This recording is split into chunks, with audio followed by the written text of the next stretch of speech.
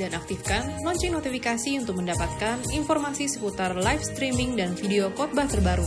Posisi tombol subscribe berada di kanan atas channel kami dan jangan lupa nyalakan loncengnya.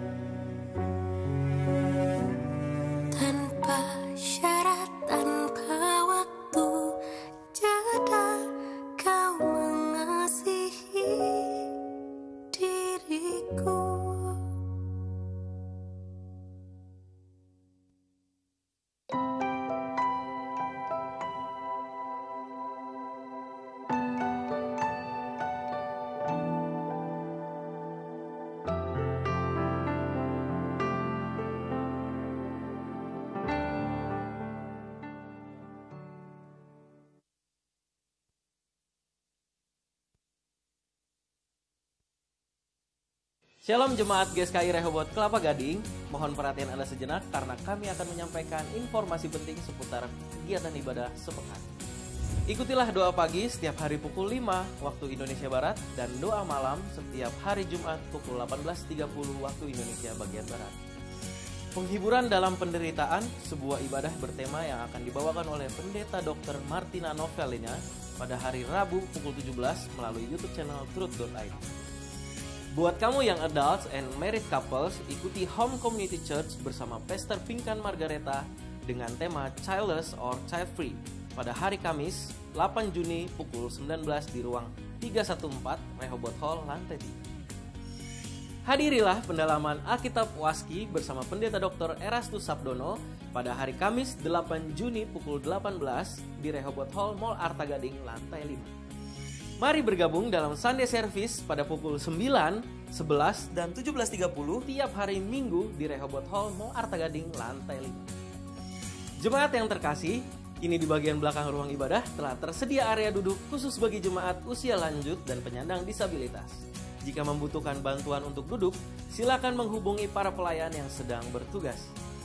Untuk adik-adik berkebutuhan khusus, Rehoboth Kelapa Gading memiliki kelas Super Kids yang dikhususkan bagi usia 5 sampai 12 tahun setiap hari Minggu hanya di Sunday Service pertama. Silakan mendaftar ya. Anda dapat memfollow Pendeta Dr. Erastus Sabdono di TikTok dan Instagram untuk mendapatkan konten yang berisi highlight khotbah terupdate serta follow akun Instagram GSKI Rehoboth Kelapa Gading untuk mendapatkan informasi program seputar kegiatan ibadah sepekan. Bapak Ibu diimbau untuk datang tepat waktu dan mengisi kursi yang tersedia di lantai 5. Posisi toilet wanita tersedia di belakang area ruang ibadah ini, sedangkan toilet pria berada di sisi kanan panggung. Bagi Bapak Ibu yang membawa anak, dapat diharapkan untuk mengikuti ibadah melalui ruang ibu dan anak di lantai 3 dan lantai 5. Demikianlah informasi kegiatan ibadah sepekan yang telah kami sampaikan untuk Anda. Saya Jose mengucapkan terima kasih atas perhatian Anda. Tuhan Yesus memberkati.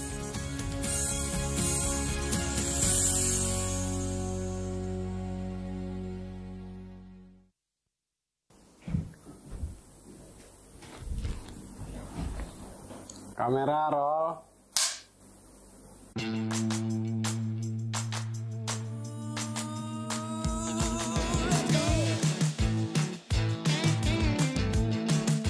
Halo guys, nama gue Timothy. Gue sebagai ketua tim kreatif RCC. Hai, nama gue Chris dari tim Hospitality di RCC. Halo guys, kenalin gue Regina, gue dari tim Present Worship dan Kreatif RCC. Gue Felix, gue salah satu worship leader di RCC. Hai, kenalin gue Bella, gue di RCC sebagai usher, singer, dan gue juga ngebantu-bantu di tim kreatif. Hai, nama gue Angel, gue sebagai tim multimedia di RCC.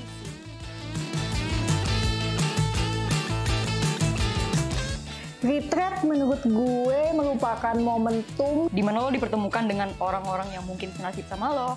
Mereka mungkin bukan orang yang sempurna, tapi mereka mau belajar. Seperti kita merecall diri kita kembali tempat di mana kita bisa berkumpul dengan orang-orang baru dan itu kita bisa bareng-bareng happy happy bareng have fun bareng dan tentunya tujuannya ya satu yaitu bertumbuh untuk Tuhan.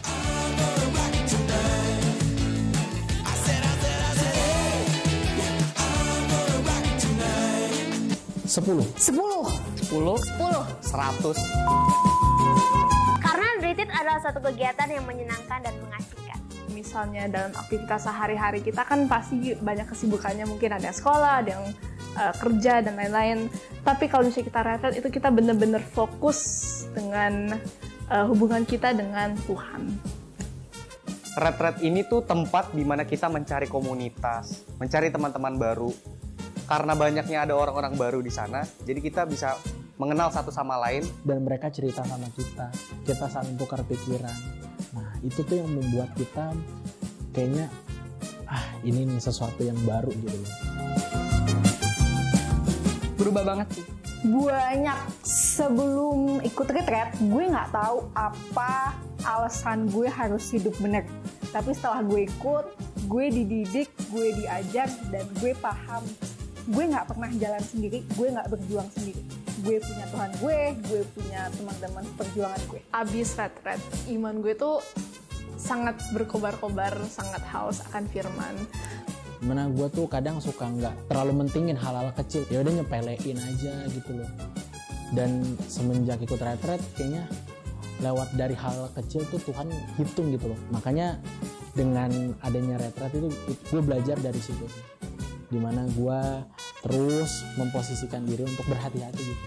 Dan akhirnya dari situ juga gue menyadari betapa pentingnya retret karena di sini kita benar-benar diubah, ditegaskan kembali untuk melakukan perubahan karakter dari buruk ke arah yang lebih baik tentang kerohanian apa yang harus gue lakuin dan apa yang tidak boleh gue lakuin dan itu semakin bertambah.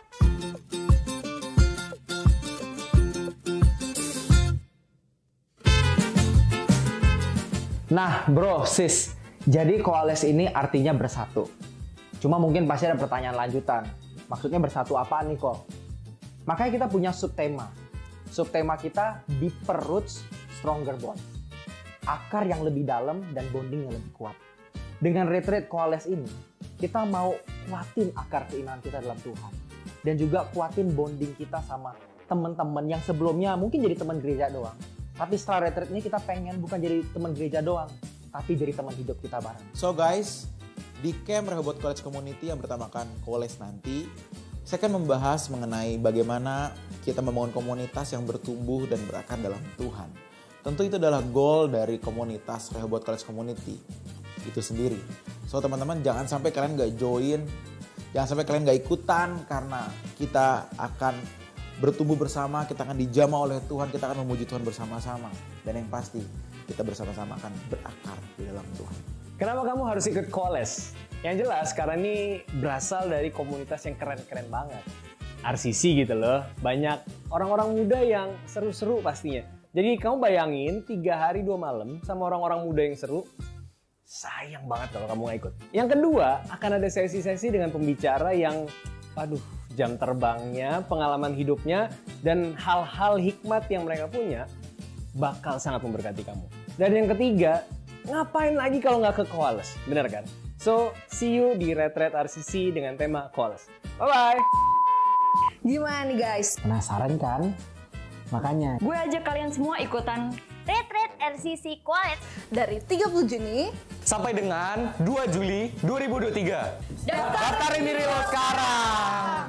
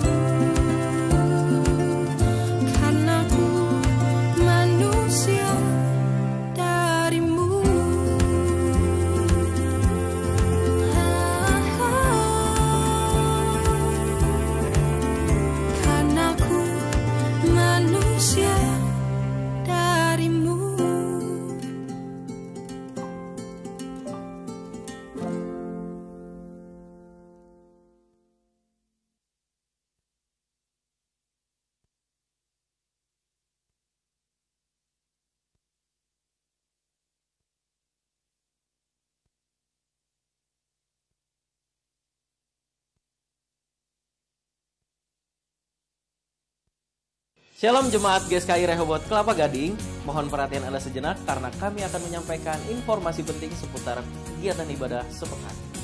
Ikutilah doa pagi setiap hari pukul 5 waktu Indonesia Barat dan doa malam setiap hari Jumat pukul 18.30 waktu Indonesia bagian Barat. Penghiburan dalam penderitaan, sebuah ibadah bertema yang akan dibawakan oleh Pendeta Dr. Martina Novelina pada hari Rabu pukul 17 melalui YouTube channel truth.id. Buat kamu yang adults and married couples, ikuti Home Community Church bersama Pastor Pinkan Margareta dengan tema Childless or Child Free pada hari Kamis 8 Juni pukul 19 di ruang 314 Rehoboth Hall lantai 3. Hadirilah pendalaman Alkitab Waski bersama Pendeta Dr. Erastus Sabdono pada hari Kamis 8 Juni pukul 18 di Rehoboth Hall Mall Arta Gading lantai 5.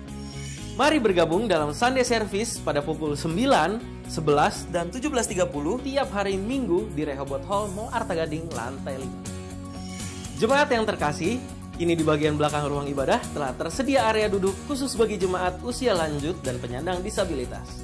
Jika membutuhkan bantuan untuk duduk, silakan menghubungi para pelayan yang sedang bertugas. Untuk adik-adik berkebutuhan khusus, Rehoboth Kelapa Gading memiliki kelas Super Kids yang dikhususkan bagi usia 5 sampai 12 tahun setiap hari Minggu hanya di Sunday Service pertama. Silakan mendaftar ya. Anda dapat memfollow Pendeta Dr. Erastus Sabdono di TikTok dan Instagram untuk mendapatkan konten yang berisi highlight khotbah terupdate serta follow akun Instagram GSKI Rehoboth Kelapa Gading untuk mendapatkan informasi program seputar kegiatan ibadah sepekan. Bapak Ibu diimbau untuk datang tepat waktu dan mengisi kursi yang tersedia di lantai 5. Posisi toilet wanita tersedia di belakang area ruang ibadah ini, sedangkan toilet pria berada di sisi kanan panggung. Bagi bapak ibu yang membawa anak, dapat diharapkan untuk mengikuti ibadah melalui ruang ibu dan anak di lantai 3 dan lantai 5. Demikianlah informasi kegiatan ibadah sepekan yang telah kami sampaikan untuk Anda. Saya Jose mengucapkan terima kasih atas perhatian Anda. Tuhan Yesus memberkati.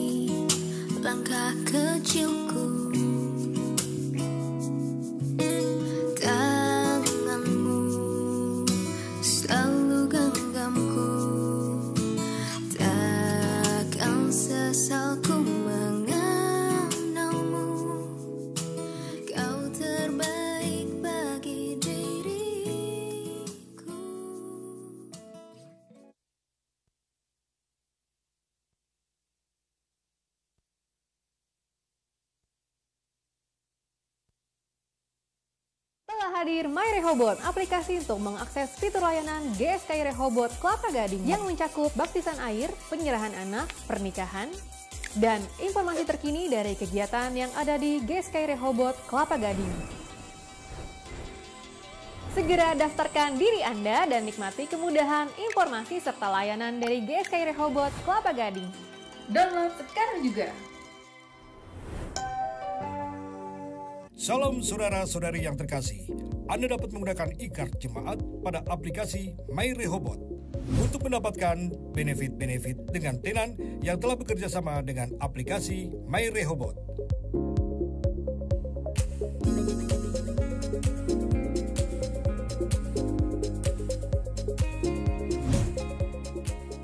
Download sekarang juga. Bersama gereja-gereja dari segala abad dan segala tempat Gereja Suara Kebenaran Injil mengakui pengakuan iman rasuli dan mengajarkannya.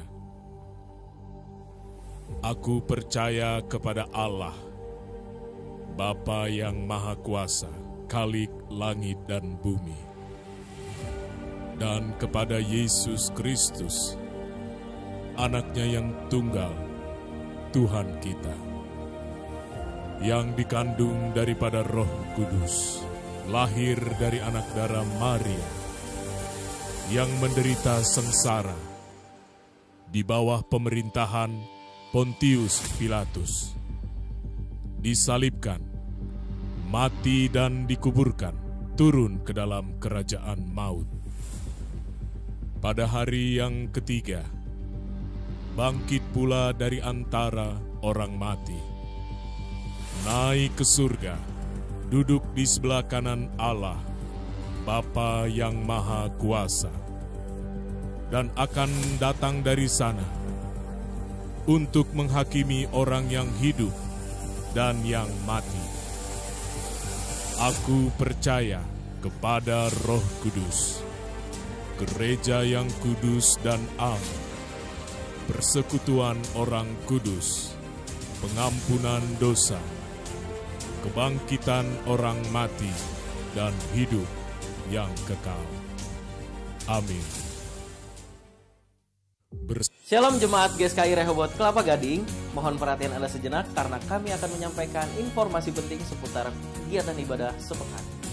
Ikutilah doa pagi setiap hari pukul 5 waktu Indonesia Barat dan doa malam setiap hari Jumat pukul 18.30 waktu Indonesia bagian Barat.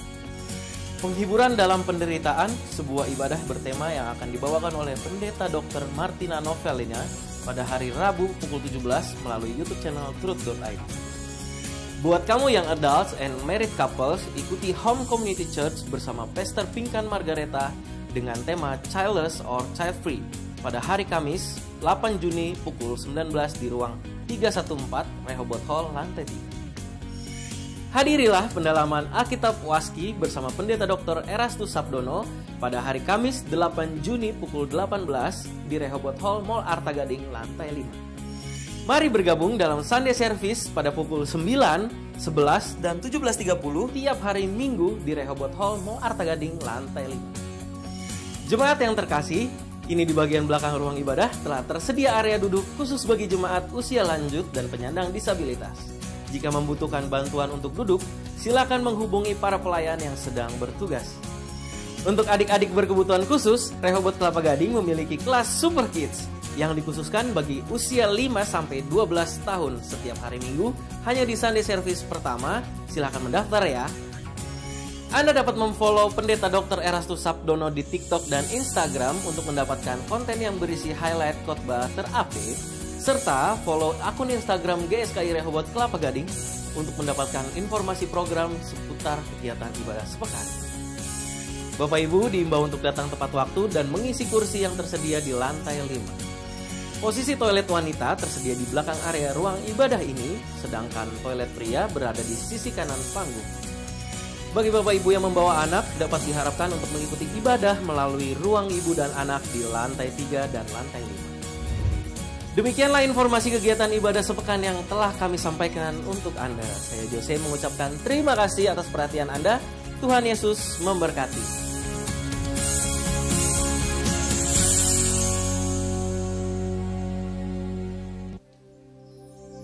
Baik, selamat siang Bapak Ibu, jemaat Tuhan yang hadir di tempat ini maupun yang mengikuti ibadah kita melalui streaming online. Shalom. Bisa lebih keras lagi Bapak Ibu. Shalom. Berikan tepuk tangan bagi Tuhan Yesus. Haleluya.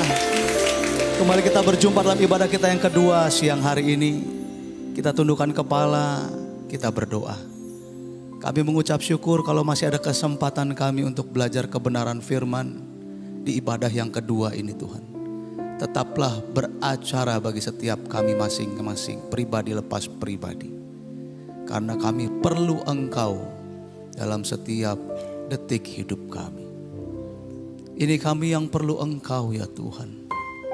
Yang mau duduk diam dalam hadiratmu. Mengangkat tangan membuktikan bahwa kami butuh engkau. Merendahkan diri kami untuk mendengar suara. Ini kami Tuhan.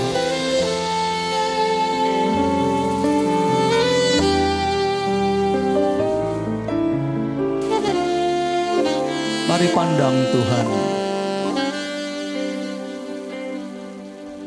Ku duduk diam hampir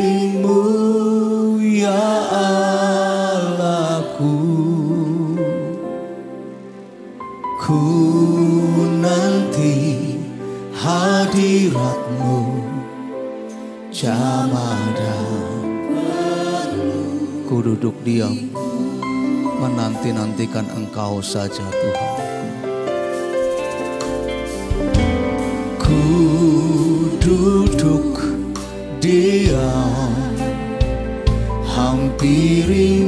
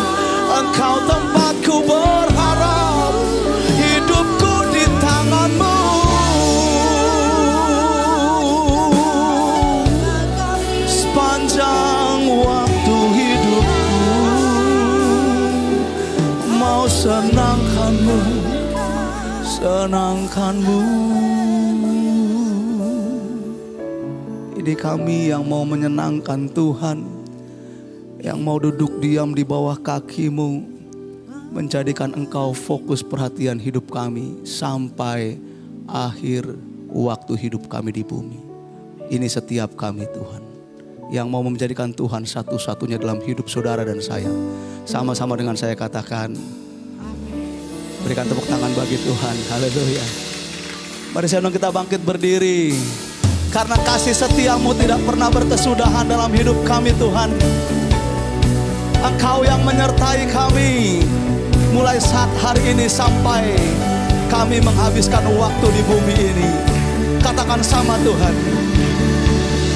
Kasihmu tak berubah Tak berubah. Selamanya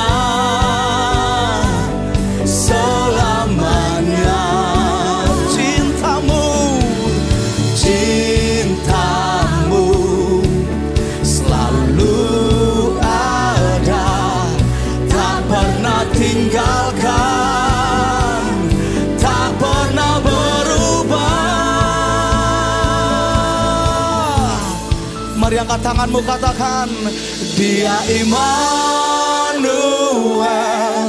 Dia Immanuel. Selalu ada Selalu beserta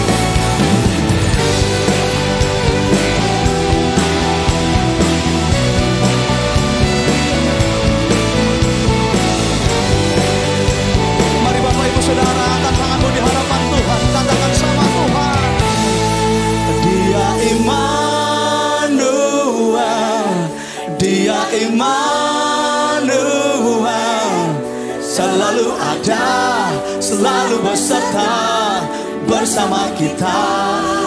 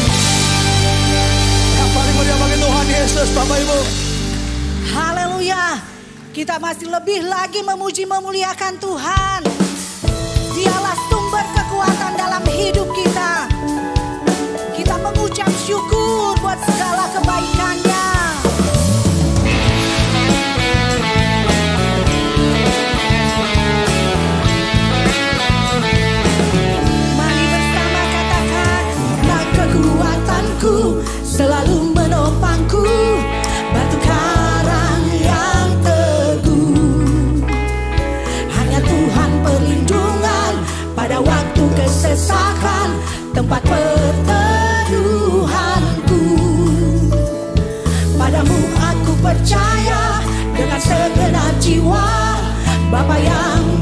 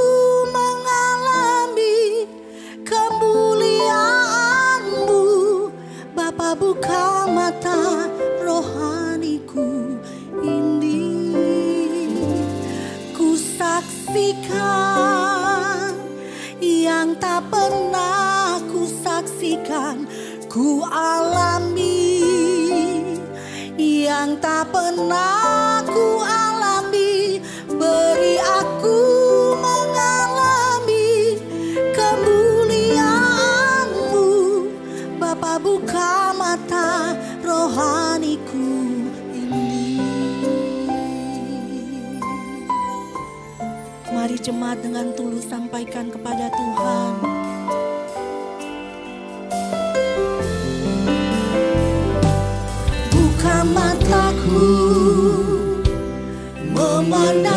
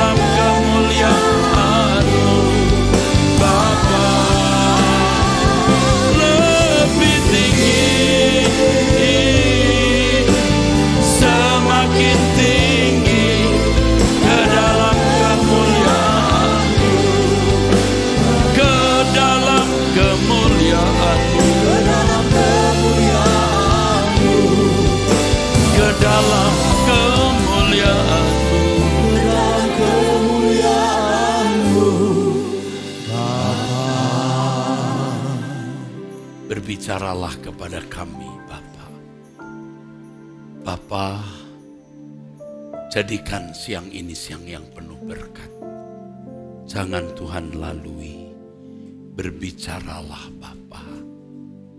Kami hanya mau mendengar suaramu Bapa. Bukan suara manusia. Lindungi, jagalah mimbar ini Bapa dari suara manusia. Agar kami hanya mendengar suaramu sendiri. Suaramu yang mulia Bapa. Di dalam nama Tuhan Yesus Kristus Bapa, Bapa, kami sambut firman. Haleluya. Amin, amin, amin. Silahkan duduk saudaraku sekalian.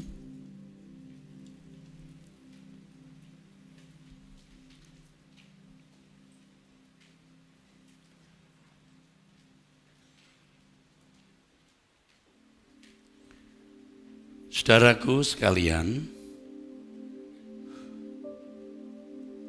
perbuatan baik seturut atau sesuai dengan standar kebaikan Allah yang dapat dinikmati oleh Allah itu sesuatu yang berharga.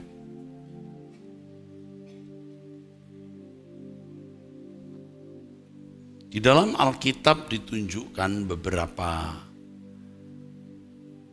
kali, ditunjukkan beberapa kali kebenaran ini, saudara.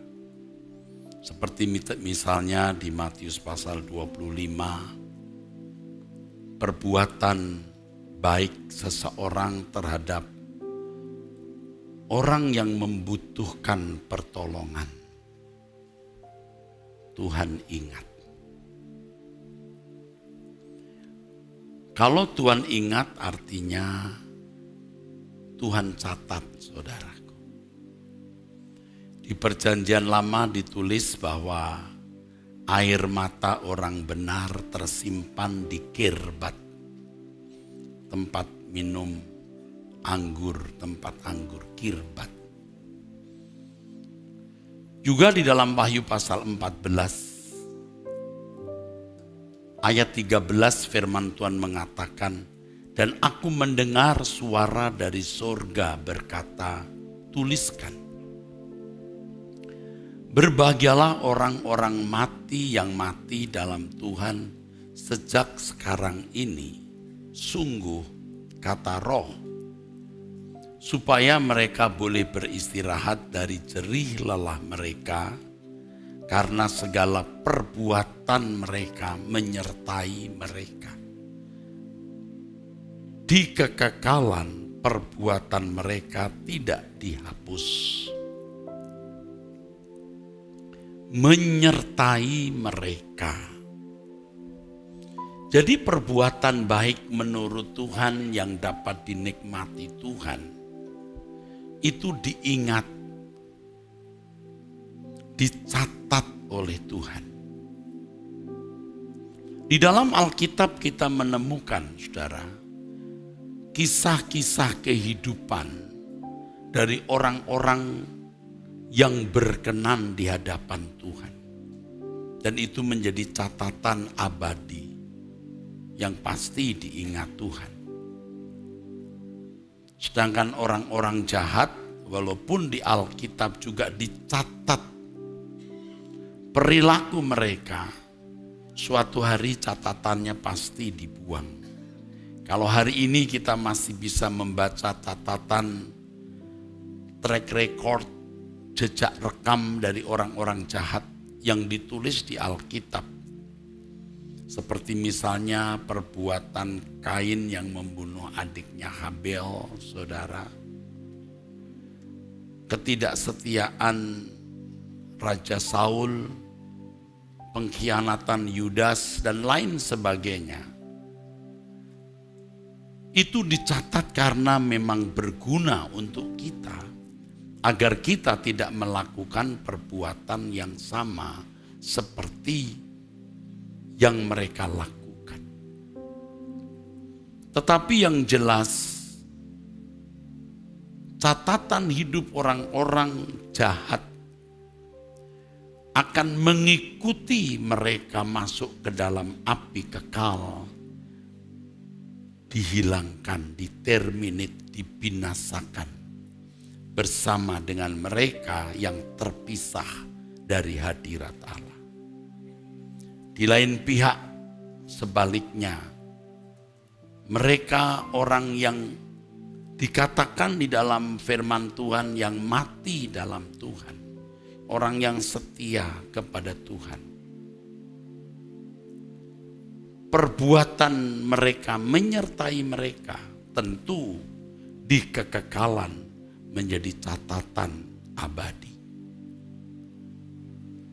Kita membaca di dalam Alkitab catatan jejak rekam orang-orang benar ini yang nantinya akan tetap abadi dihargai oleh Tuhan. Pernahkah saudara memikirkan, merenungkan, memperkarakan bagaimana catatan hidup saudara, catatan hidup kita di kekekalan? Firman Tuhan mengatakan satu kata yang kita ucapkan harus kita pertanggungjawabkan tercatat? Apakah tercatat di dalam kitab kehidupan dan kita akan nanti masuk ke dalam kerajaan sorga? Atau tercatat nanti di api kekal dan dibinasakan? Kebenaran ini tidak boleh kita anggap remeh. Ini bukan kebetulan, saudara. Kebenaran ini bukan karena sekedar melintas di pikiran, lalu diberitakan kepada saudara. Kebenaran ini lahir dari doa, lahir dari permintaan kepada Tuhan, apa yang harus saudara-saudara dengar pada kesempatan ini. Setiap kita memiliki catatan. Dan kiranya ini menggetarkan jiwa kita. Supaya kita tidak sembarangan hidup, tidak sembrono.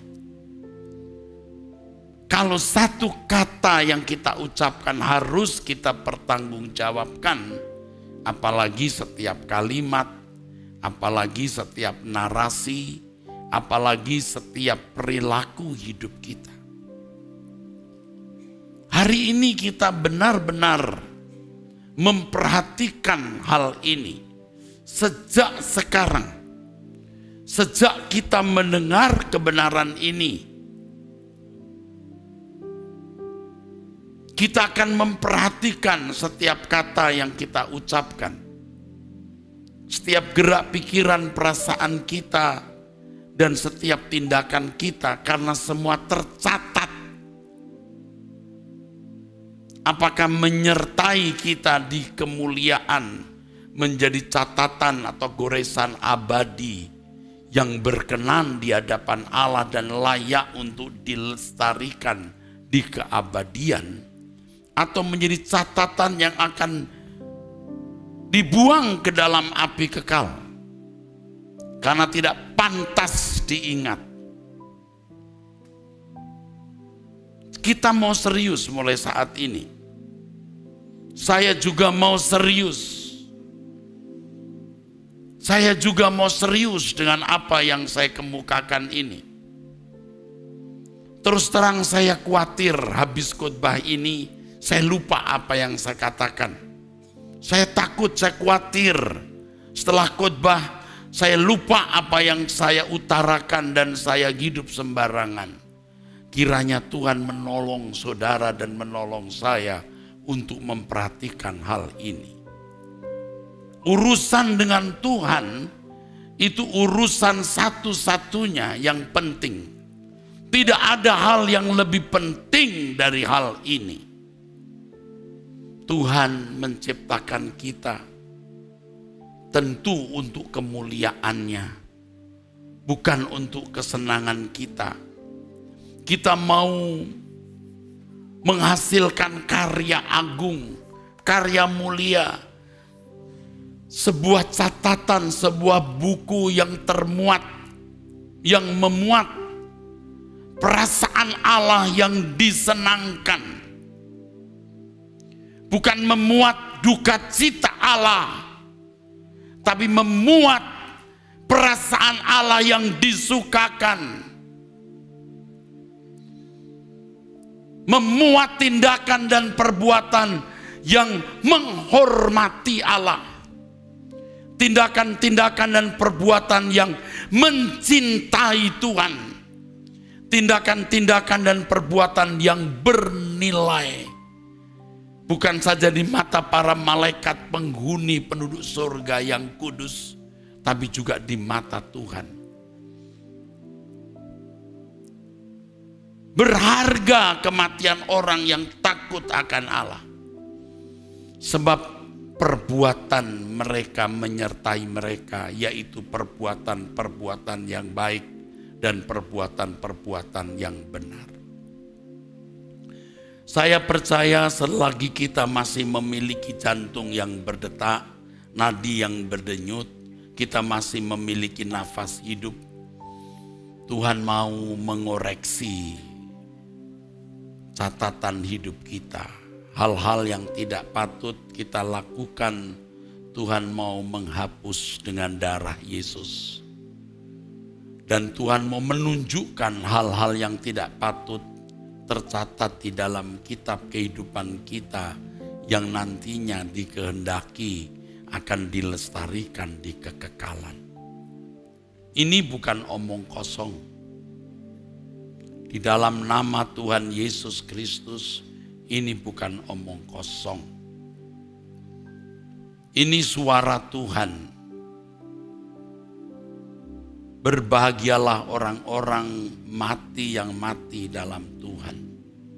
Artinya orang-orang yang hidup dalam penghormatan kepada Tuhan. Orang-orang yang hidup dalam kecintaan kepada Tuhan. Orang-orang yang menyenangkan hati Tuhan. Orang-orang yang melayani Tuhan. Tidak mati konyol di dunia. Tetapi mati dalam percintaan dengan Tuhan. Dan mereka orang-orang yang kata Alkitab sungguh.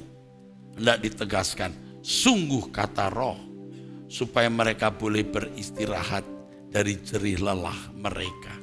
Tidak sia-sia usaha untuk hidup suci, tidak sia-sia usaha untuk takut akan Allah, tidak sia-sia usaha melepaskan percintaan dunia lalu mencintai Tuhan karena segala perbuatan mereka menyertai mereka. Saya tanya kepada saudara, saudara mau berubah? Saudara mengerti apa yang saya katakan? Saudara mengerti apa yang saya katakan? Sejak sekarang, sejak siang ini, Minggu 4 Juni 2023, kita mau mengubah sejarah hidup kita kita mau mengubah lembar-lembar hari hidup kita. Kita minta Tuhan koreksi apa yang telah kita lalui. Tuhan berkuasa menghapus dengan darahnya, darah Yesus. Dan Tuhan mau kita memiliki catatan yang baru dan kiranya ini menjadi kegemaran kita, menjadi kesukaan kita, saudaraku. Kegemaran kita, kesukaan kita lebih dari hobi, lebih dari apa pun. Kita sedang menoreh, menggoreskan sejarah kehidupan dalam kitab kehidupan kita masing-masing sebagai pelayan saudara, sebagai suster saudara. Saya sungguh-sungguh mengajak saudara, saya minta kepada saudara, ayo kita berubah. Ubahlah rutinitas hidupmu. Harus ada respon dari pihak kita, langkah dari pihak kita untuk mengalami perubahan ini. Harus ada respon. Harus ada tindakan kita untuk bisa merubah sejarah hidup kita. Kita harus memiliki langkah konkret. Jangan hanya mengaminkan apa yang saya khotbahkan, tetapi melangkahlah Kembali ke Wahyu pasal yang ke-14, saudaraku. Tadi kita membaca ayat yang ke-13. Dan aku mendengar suara dari surga berkata, tuliskan. Berbahagialah orang-orang mati yang mati dalam Tuhan sejak sekarang ini. Sungguh kata roh, supaya mereka boleh beristirahat dari jerih lelah mereka karena segala perbuatan mereka menyertai mereka. Ayat sebelumnya, yang penting di sini ialah ketekunan orang-orang kudus yang menuruti perintah Allah dan iman kepada Yesus. Ayat 13 tentu tidak bisa lepas dari ayat yang ke-12. Ada kata-kata yang patut mendapat perhatian kita ketekunan. tekun. Ini bicara soal konsistensi untuk mengisi hari hidup kita dalam pencarian akan Tuhan, usaha menjaga kesucian hidup, ketegasan kita menolak dosa dan pengaruh dunia, tekun. Kata yang berikut adalah orang-orang kudus. Ini bukan untuk orang sembarangan, sebab catatan hidup yang bernilai, yang berharga di hadapan Allah yang dilestarikan di dalam kekekalan adalah orang-orang kudus. Mendengar kata orang-orang kudus, jangan saudara merasa asing. Orang-orang kudus, orang-orang suci, itulah kita. Bukan orang-orang khusus di dalam gereja yang mendapat jawatan oleh sinode. Semua kita adalah orang-orang kudus. Rasul Paulus menulis, Tuhan memberikan rasul, nabi, gembala, penginjil, pengajar, memperlengkapi orang-orang kudus. Orang kudus itu bukan orang-orang tertentu yang disahkan gereja sebagai orang kudus, tetapi semua orang percaya yang ditebus oleh darah Yesus, yang memberi diri dididik, dibentuk oleh Tuhan. Jadi mestinya kita menyadari bahwa kita orang kudus. Jangan takut, jangan ragu-ragu mengatakan aku orang kudus. Kita tidak mengatakannya kepada orang lain. Kita mengatakan kepada diri kita sendiri supaya kita bisa menjaga martabat kita. Aku orang kudus. Saudara tidak pernah mengatakan itu. Anda takut karena Anda merasa orang yang tidak layak. Tetapi sebenarnya orang-orang yang ditebus oleh darah Yesus, orang-orang yang dikuduskan dan harus menjadi benar-benar kudus. Katakan amin. Kita beri tepuk tangan saudaraku. Kalau kita membaca Alkitab, kita menemukan kata dikuduskan. Ini dikuduskan oleh darah Yesus.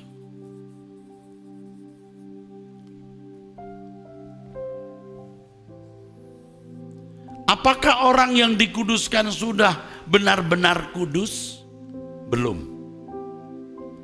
Dari perbuatan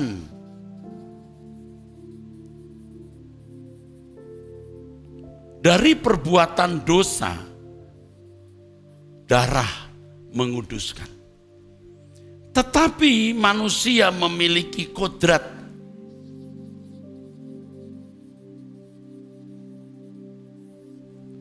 Kodrat dosa inilah yang akan terus melukis, menggoreskan perbuatan-perbuatan yang mendukakan hati Allah. Ini harus dikuduskan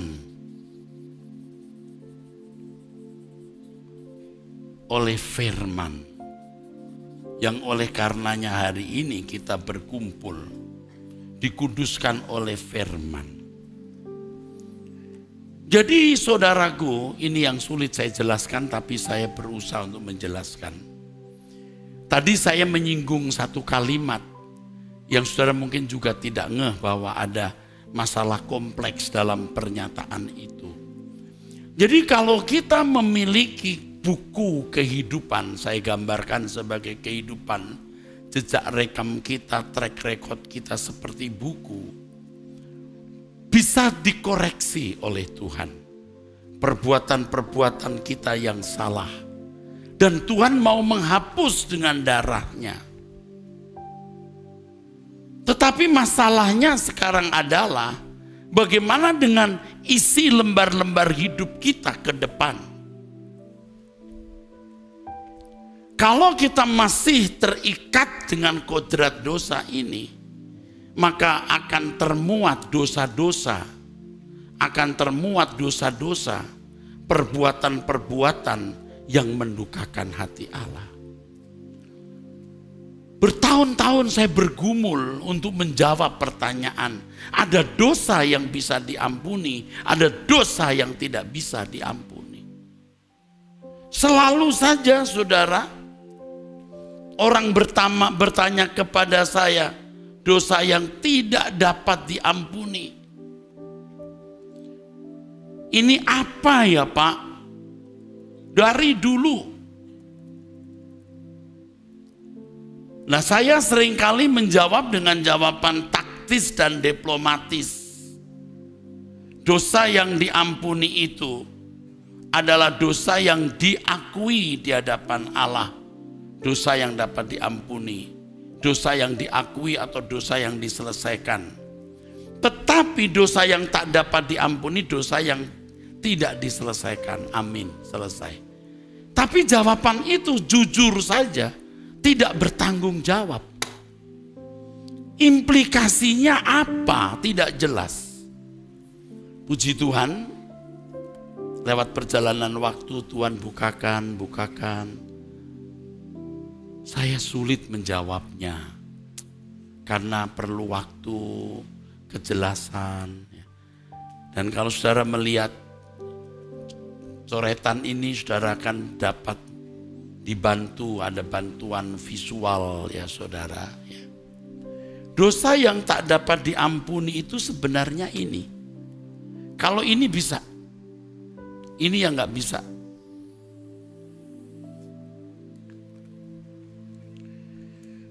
Catatan buruk, catatan najis, catatan salah di dalam hidup kita dapat diselesaikan dengan darah Yesus terkoreksi.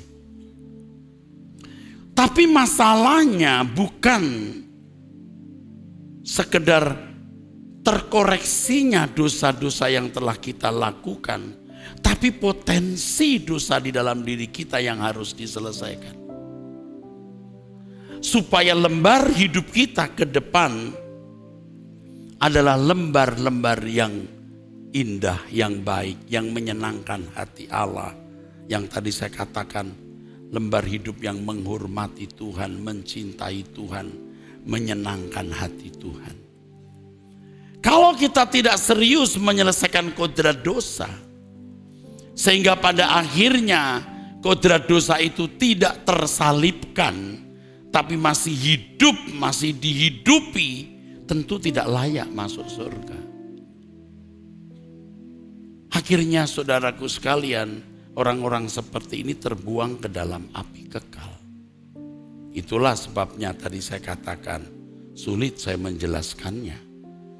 Secara taktis diplomatis saya bisa mengatakan dosa yang dapat diampuni, dosa yang diselesaikan, yang diakui, lalu minta ampun. Dosa yang tidak diampuni, tidak terampunkan, dosa yang tidak diselesaikan tetapi jawaban itu sebenarnya jawaban yang tidak bertanggung jawab atau belum bertanggung jawab. Sebab implikasinya belum jelas. Amin. Mengakui dosa diampuni, tidak diakui dosanya tetap. Ya, implikasinya masih belum jelas.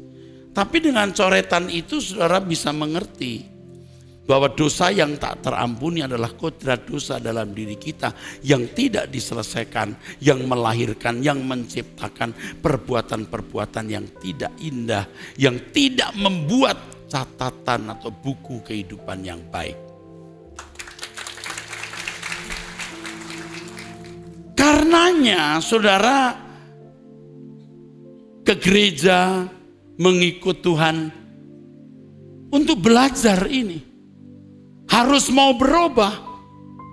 Jangan sudah mengerti lalu ya sudah mengerti. What next?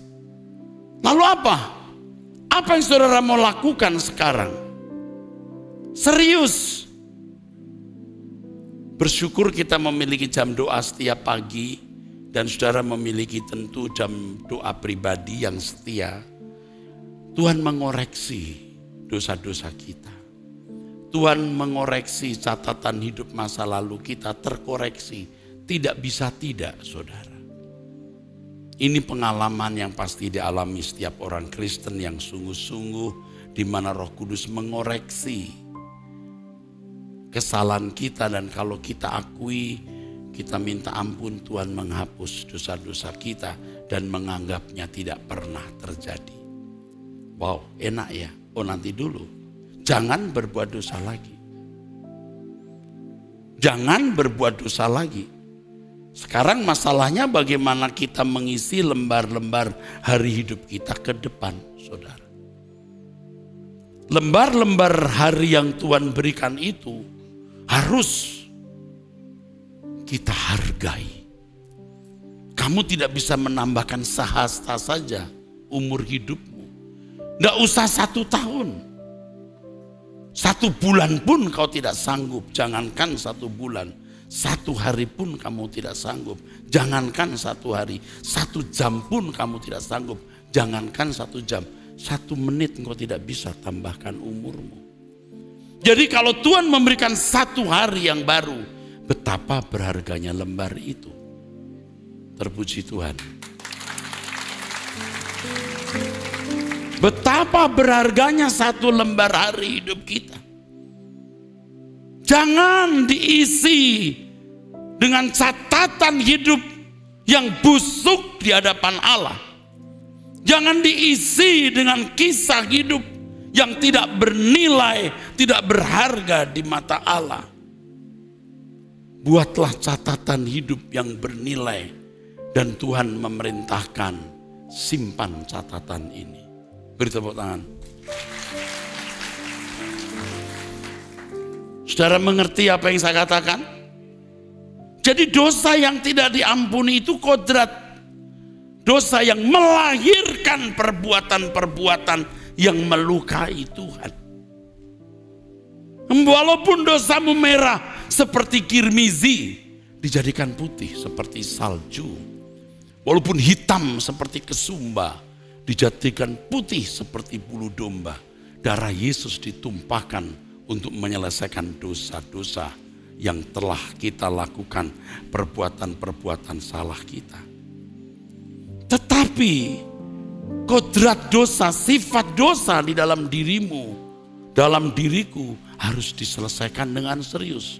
Supaya tidak melahirkan perbuatan-perbuatan yang melukai hati Tuhan. Tetapi perbuatan-perbuatan yang indah yang tercatat dalam kitab sejarah hidup kita masing-masing yang dilestarikan di kekekalan. Setiap lembar itu berharga, saudara. Bayangkan kalau suatu hari saudara meninggal, Anda tidak pernah punya catatan hidup yang baik, Anda tidak layak masuk kerajaan surga. Nah, sering kali orang mengajar doktrin yang salah. Pokoknya kalau sudah selamat, mau apa pun yang terjadi akhirnya kamu selamat. Itu catatan doktrin yang salah, berabad-abad membuat kekristenan menjadi bangkrut dan mati. Alkitab jelas mengatakan kerjakan keselamatanmu. Maka orang harus melihat aspek ini dikuduskan oleh darah Yesus, tapi juga dikuduskan oleh firman tentu Roh Kudus akan menuntun kita supaya firman itu kita pahami. Satu, dua. Roh Kudus pasti menuntun kita bagaimana firman itu kita kenakan. Pada akhirnya saudaraku, perbuatan kita itu merupakan petualangan Roh Kudus dan kita catatan petualangan Tuhan bersama kita yang tentu di yang tentu diwakili oleh Roh Kudus. Jadi catatan hidup kita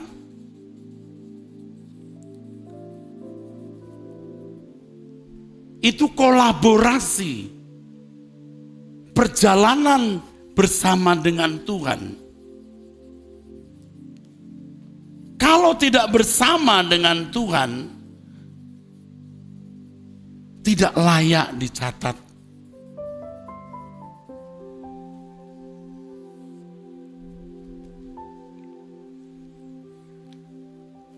Betapa indah hidup ini sebagai orang percaya yang diperkenan berjalan dengan Tuhan. Kalau kita menganggap ini penting dan berharga, kita bisa melepaskan apa pun dan Tuhan Yesus memang berfirman, kalau kamu tidak melepaskan dirimu dari segala milikmu, kamu tak dapat jadi muridku. Saudara mau serius ikut Tuhan? Saudara mau serius ikut Tuhan?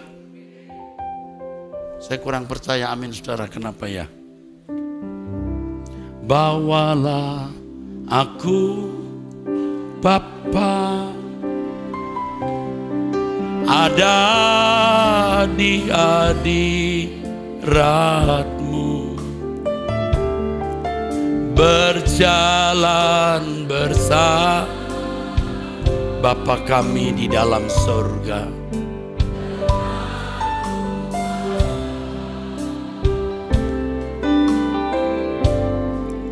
Setiap waktu Haleluya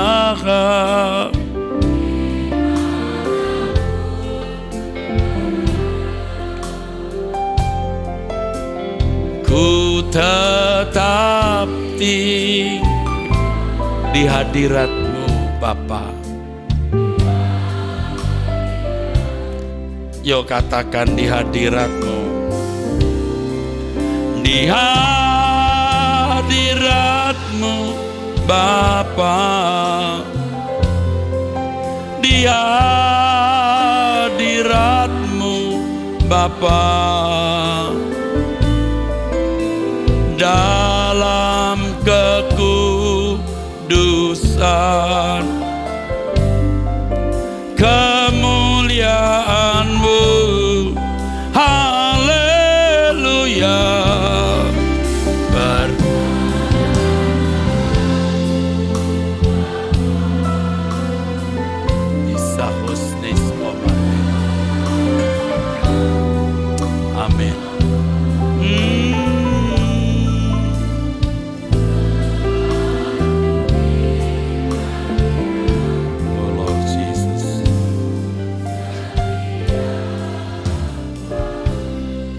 Kiranya Tuhan mencerahi pikiran saudara untuk bisa menghayati apa yang saya katakan. Satu lembar hari kita itu berharga. Kita tidak bisa beli pakai uang.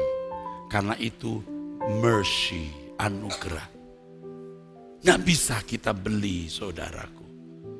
Dan Tuhan mau satu lembar hari kita, kita hargai. Yang terdiri dari potongan jam-jam yang berjumlah 24. Lalu terdiri potongan menit-menit di mana setiap jam 60 menit. Di mana dari menit ke menit kita memperhatikan setiap kata yang kita ucapkan. Apalagi setiap kalimat, lebih lagi narasi. Dari menit ke menit, dari jam ke jam, kita serius menjaga hidup kita. Yang tentu nanti kalau sudah terbiasa menjaga, kita terbiasa tidak sulit. Semua yang dimulai, semua yang baru memulai, itu memang sulit. Tetapi lama-lama menjadi irama. Kesucian itu akan menjadi irama, saudaraku. Katakan amin. Sama seperti orang main musik kalau kalau sedang baru belajar itu sulit ya. Tapi kalau sudah bisa akan Satu hari itu berharga. Kita hargai hari ini, besok, lusa, kita hargai. Dan ketika Tuhan melihat catatan hidup kita indah, Tuhan berkata, lanjutkan. Lanjutkan di kekekalan. Tetapi kalau hari-hari hidup seseorang busuk, buruk, Tuhan berkata, hentikan. Hentikan, buang ke api kekal. Kita beri tepuk tangan untuk kebenaran ini. Pertanyaan saya, kira-kira hari hidup saudara layak diteruskan di rumah Bapak di kekekalan atau tidak? Hmm, hmm, hmm. Makanya tadi aminnya tidak saya percaya. Roh saya ragu-ragu untuk meyakini Anda itu serius. Karena irama hidup saudara sudah lama salah. Saudara hanya menyenangkan diri sendiri. Loh, saudara dan saya ini sama-sama manusia. Punya gejala-gejala jiwa yang sama. Saya juga pernah melewati tahun-tahun di mana saya egosentris, aku sentris. Yang penting aku senang. Tidak memperdulikan catatan harian saya. Kalau sudah tidak peduli catatan harian, tidak peduli catatan mingguan, tidak peduli catatan bulanan, tidak peduli catatan tahunan, tidak peduli perjalanan hidup. Baru setelah mati ketika menghadap tata pengadilan Tuhan baru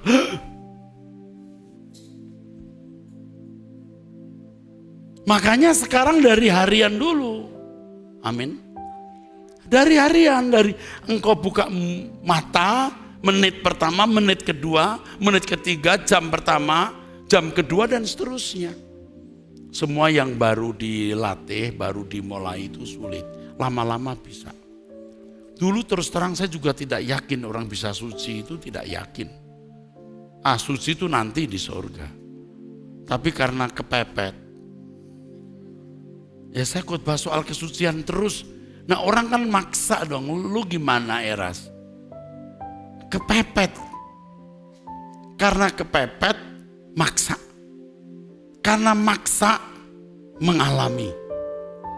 Belum lagi dengan banyak kejadian yang terjadi dalam hidup saya yang adalah bagian proses itu.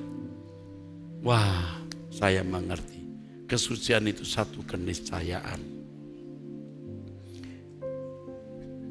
Renungkan dan saudara bawa pulang kebenaran ini bahwa satu hari itu tidak bisa kita beli pakai uang 2 triliun. Nggak kebeli pak. Kalau orang sakit parah, berapapun uangnya dihabiskan supaya dia sembuh dan tidak mati. Betul?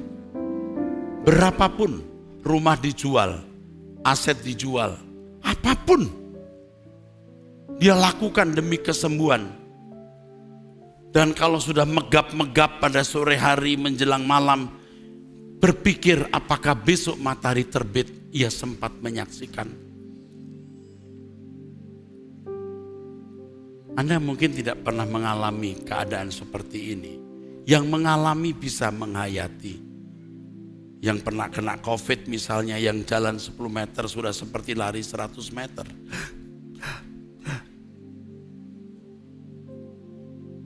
Kalau nggak ada oksigen mati sudah. Paru-paru sudah putih-putih. Ngerti nggak saudaraku saat-saat seperti itu? Satu hari jadi begitu berharga.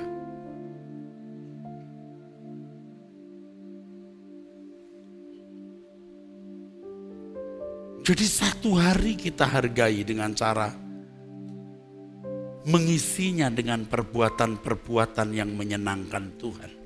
Jangan ada perbuatan yang mendukakan hati Tuhan hanya karena kita mau menyenangkan diri kita sendiri. Ku hanya ingin mengasihimu dengan segenap hati.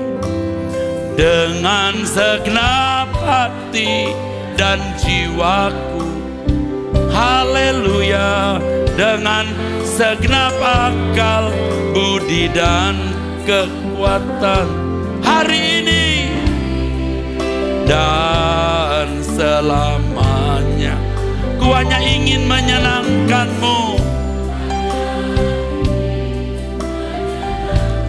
Segala perkara setiap waktu Sejak ku hidup di bumi sampai di surga. Hari ini dan setelah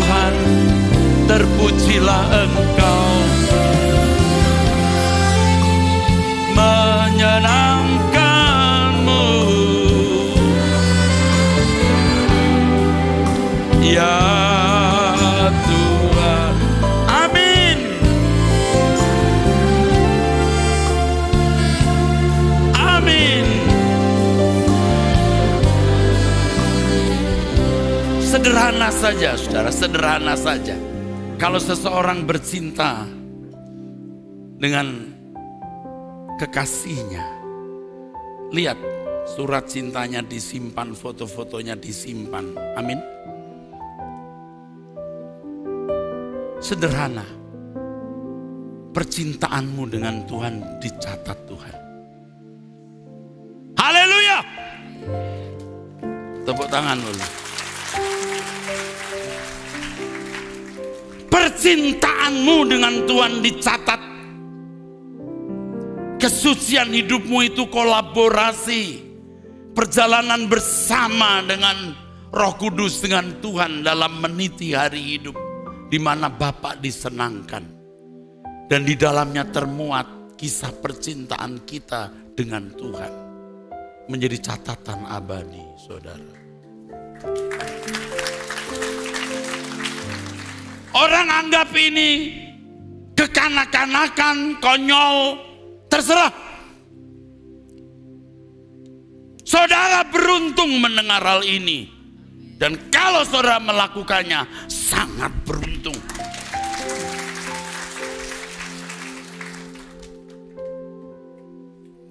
Sederhana tapi lumayan kompleks ketika saudara harus mewujudkan dalam hidup setiap hari.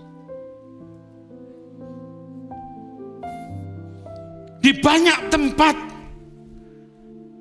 kekristenan hanya menjadi agama yang dihiasi, diatributi dengan kebaktian liturgi dan segala budaya Kristen yang itu tidak menyenangkan hati Allah. Tidak ada di situ sentuhan percintaan dengan Allah. Yang adanya liturgi kosong. Tempat orang-orang mengaktualisasi diri di dalam kehidupan beragama. Belum lagi soal penyalahgunaan kekuasaan gereja. Tetapi di sini sudah diajar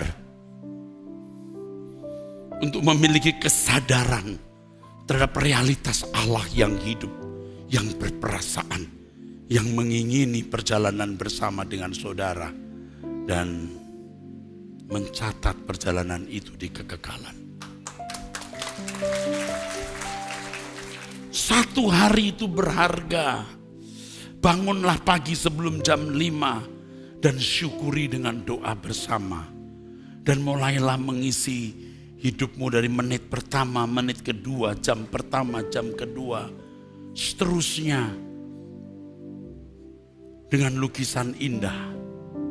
Perbuatan-perbuatan yang menyenangkan hati Allah. Satu hari, dua hari, seminggu, dua minggu, sebulan, dua bulan, satu tahun, dua tahun. Yang kemudian akhirnya Tuhan berkata, lanjutkan di kekekalan. Lanjutkan di kekekalan kisah hidup orang ini. Boleh tepuk tangan saudara.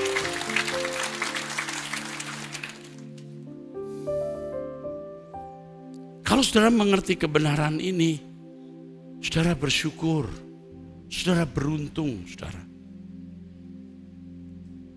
Dan kalau saudara melakukannya, saudara sangat beruntung.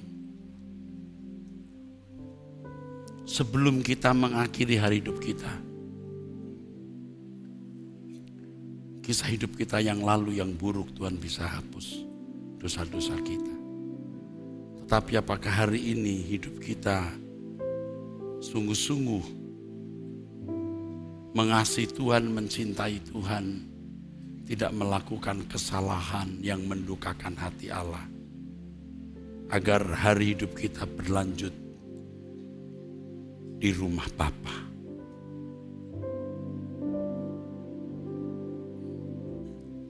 Mengerti maksud saya? Amin. Mengerti Bapak maksud saya? Amin. Lanjutkan Pak. Lanjutkan. Saudara yang hidup dalam dosa berhenti berbuat dosa. Jangan saudara berkata aman-aman. Tuhan akan bongkar semua perbuatanmu. Jangan saudara rasa aman. Lagi pula Anda tidak tahu kapan hari terakhir saudara.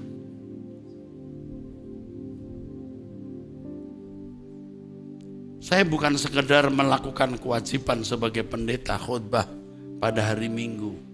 Setiap kali saya berkhutbah hari ini, saya selalu bertanya kepada Tuhan.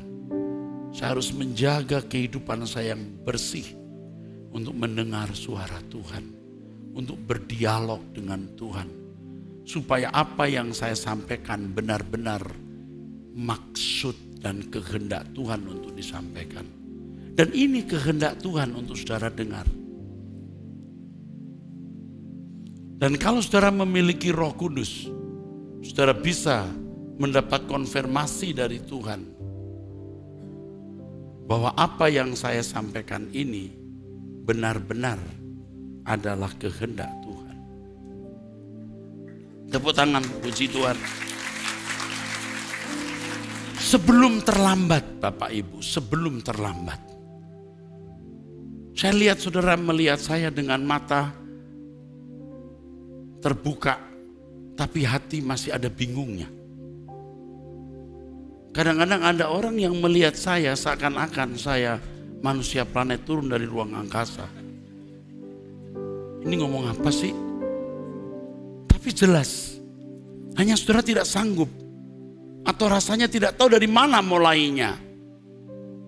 Tapi kalau saudara sungguh-sungguh mau, saudara minta roh kudus, Tuhan tuntun. Ini bukan hanya untuk saudara, juga untuk saya. Saya tadi bicara, saya takut. Setelah khutbah ini, saya lupa apa yang saya khutbahkan. Saya takut usai khutbah ini, saya tidak memperhatikan apa yang saya khutbahkan. Sembarangan lagi dengan apa yang saya ucapkan, liar dalam pikiran dan perasaan. Saya takut. Makanya sementara tadi saya khutbah, saya tiba-tiba ingat lagu ini. Jagaku Tuhan dalam kebenaran. Jagaku kesucian. Rinduku, rinduku tetap di dalam menikmati. Hadiratmu Tuhan jagaku. Jagaku Tuhan. Amin. Malamataka malamataka. Malamataka masyahalaseo rinduku Tuhan. Amin amin. Hadiratmu Tuhan ku percaya. Kau setia. Pegang tanganku. Rohmu yang kudus memimpinku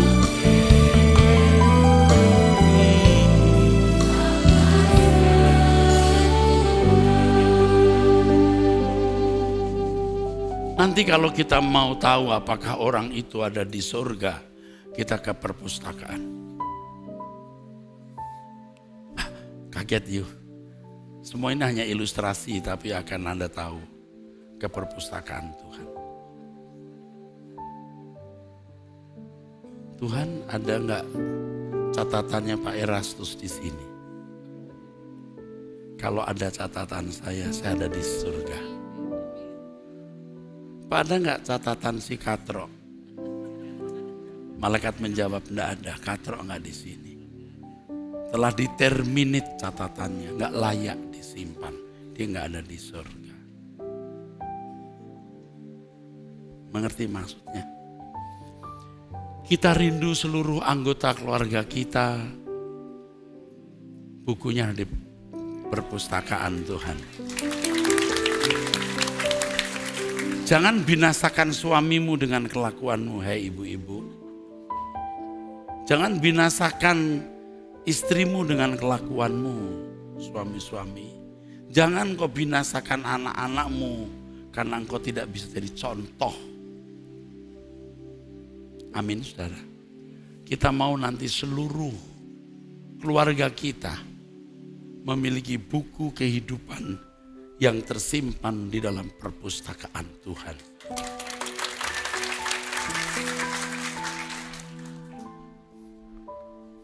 Bisa saja Tuhan Yesus mau melihat beberapa catatan dari kekasih-kekasihnya.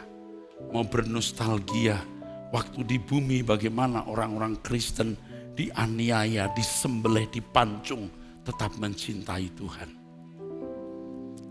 Sebenarnya tadi dalam konteks penganiayaan juga, saya tidak membaca ayat sebelumnya. Orang-orang Kristen yang teraniaya pada masa itu di abad pertama. Tapi demi cintanya kepada Tuhan Yesus, mereka rela kehilangan apa pun. Kehilangan harta, keluarga, nyawa. Kita sekarang tidak mengalami aniaya fisik, tapi aniaya batin. Di tengah-tengah dunia yang gelap, bagaimana mempertahankan kekudusan berat, sulit. Tapi kalau kita mau memiliki konsistensi yang tadi saya katakan ketekunan untuk membuktikan cinta kita kepada Tuhan itu adalah kisah cinta kita kepada Tuhan. Amin.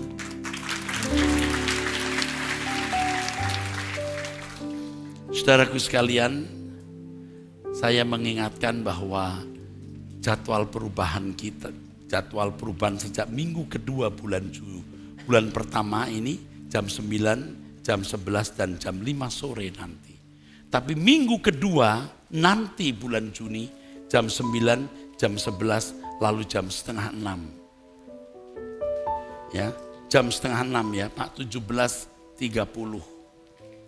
Bapak Ibu Saudara sekalian hari Kamis ini kita akan diberkati lewat acara Waski Wanita Suara Kebenaran Injil dengan tema madu surgawi. Silahkan yang mau minum madu. Hari Kamis jam 8, Kamis tanggal 8 jam 6 di tempat ini Lalu saudara-saudara sekalian bisa melihat beberapa acara lain. Home Community Church bersama Pastor Pinkan ini seorang psikolog. Ya, pada hari Kamis juga jam 7 onsite di ruang 314 di bawah. Dan saya sebagai ketua STT Ekumene dan mengajak saudara untuk mencintai STT Ekumene ikut hadir di acara Ekumene Choir Concert dengan tema Dwi Pantara Sabtu jam 6 Sabtu ini ya jam tanggal 10 Juni di function hall di sini terbuka untuk umum. Mari kita bangkit berdiri. Kita beri tepuk tangan untuk Tuhan.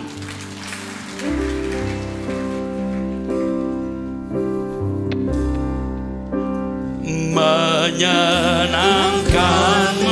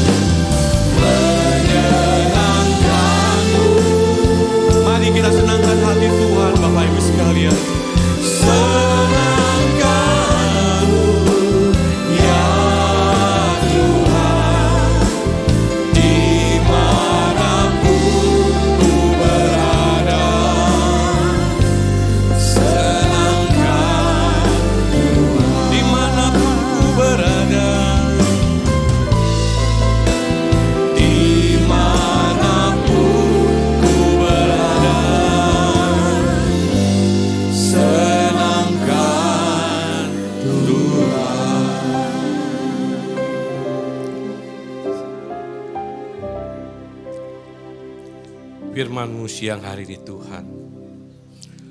Mengingatkan kami untuk kami selalu bergantung kepada Engkau.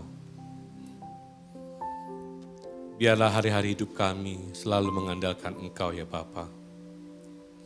Kami mau menggoreskan buku harian kami dengan hal-hal yang berkenan di hadapan Engkau. Sehingga Bapa, di saat kami pulang, Engkau melihat kami, Engkau mengenal kami, dan mengatakan, inilah anakku, anak yang aku kasih, dan kepadanya aku berkenan. Terima kasih Bapak, terima kasih. Kami mau belajar terus Tuhan. Bagaimana kami boleh hidup berkenan di hadapan Engkau. Roh Kudus tuntun kami untuk kami boleh berseturut dengan Engkau. Engkau membimbing, menyertai kehidupan kami semua Tuhan. Terima kasih, terima kasih. Terima kasih untuk hambamu yang sudah menyampaikan kebenaran firmanmu di tempat ini. Tuhan, kau pakai hidupnya untuk menjadi berkat buat banyak jiwa. Tuhan senantiasa melindungi dan menyertainya. Memberikan kesehatan kekuatan tubuh yang baik. Kau tambah-tambahkan terus kebenaran demi kebenaran. Sehingga boleh dibagikan pada kami semua dan kami boleh disadarkannya. Jaga kesucian hatinya Tuhan. Jaga hari-hari hidupnya. Biarkan dia menjadi teladan buat kami semua. Terima kasih Bapak, terima kasih. Bila sebentar kami akan berpisah satu sama lain dan mengakhiri ibadah ini Tuhan.